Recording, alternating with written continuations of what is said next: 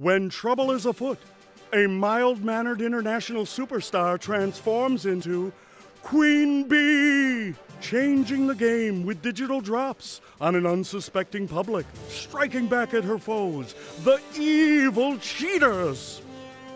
And backed up as always by her loyal army, the Beehive.